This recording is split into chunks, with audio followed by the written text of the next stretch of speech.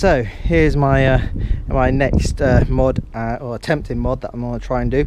Um, basically, we've got two of uh, Vango camp beds, the XLs. Uh, as you can see, 160 kilos max load.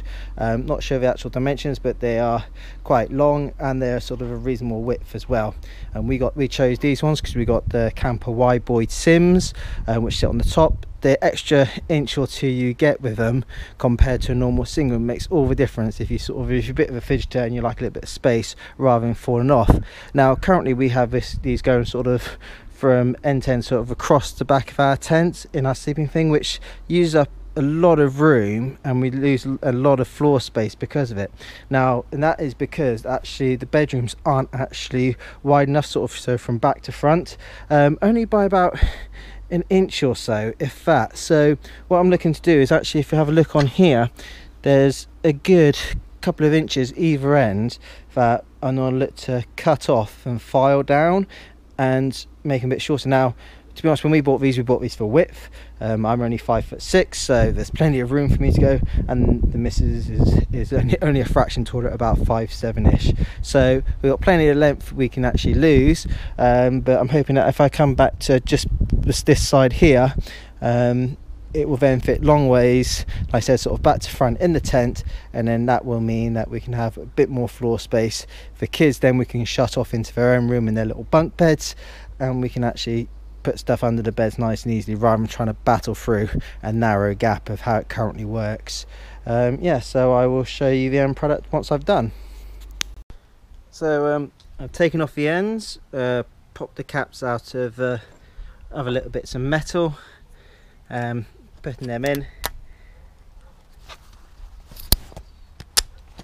So, um, so yeah, it's looking good. I will hook it over and then show you the final product so partly way through now um, so I cut off the ends. So as you can see this Ford's flat. Now I was slightly worried that getting this bit to stay on would mean this would slide up and down the actual cloth on top. Um, so when I came to do the second one down here um, I still got sorry the third one I've still got the fourth one to do. I've left a little bit of a lip to try and hook that over. But what I've actually found is actually it's quite tight. So it's not actually moving so um, I probably don't want to go to the short bit again. Um, as you can see this bit twists around which uh, any shorter than that is a bit pointless. So this side it doesn't. On this side down here it does so actually it's not much of a difference. Um, so I'll probably come in and I'm not going to do about a finger gap sort of I think now on on all the other on this last one and then all, do that all the same on the other bed.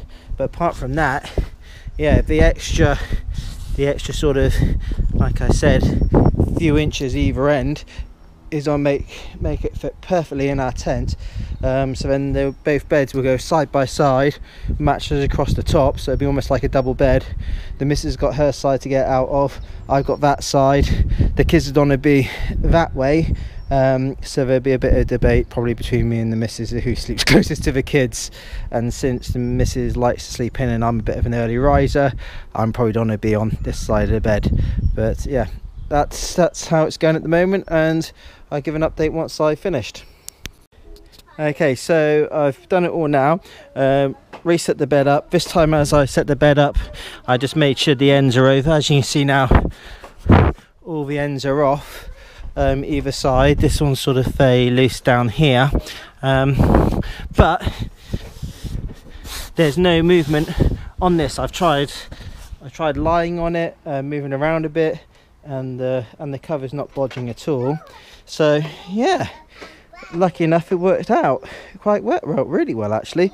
So what I'm gonna do now is, like I said, we've got two of these. And I'm gonna crack on with the other one. Uh, as anyway, thank you for watching and happy camping peeps.